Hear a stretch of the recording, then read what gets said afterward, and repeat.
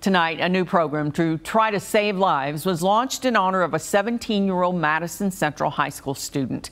Emmanuel Prewitt drowned at Herrington Lake in June of 2020. Today, the community gathered to remember his life and opened the first life jacket loaner station built in his memory. The event was at Lake Reba. Emmanuel's mother hopes this will help save others. It makes me realize just how precious our interactions are with people. I mean, you never really know whose life you're touching when you go out into the world and do things.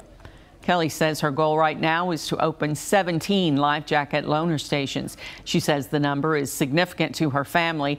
Emmanuel was 17 when he died. It was also the number he wore for many years on his sports teams.